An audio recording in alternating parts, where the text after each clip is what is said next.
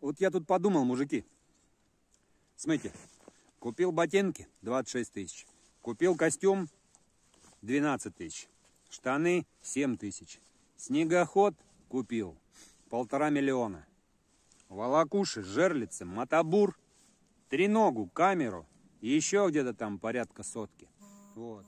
Бензин оплатил. Это порядка около 45 километров сюда, 45 обратно. Вот 80 километров. Приехали, пробурили, наковыряли. Целый день просидели. Ни хрена не поймали. Зачем я трачу деньги? Сидел бы дома, пошел бы морской рыбы купил. Семги, красной. Да какой хочешь. Да я бы полгода бы себе а, а, покупал бы себе рыбу. Зачем оно нужно? Сидите дома и не ходите на рыбалку.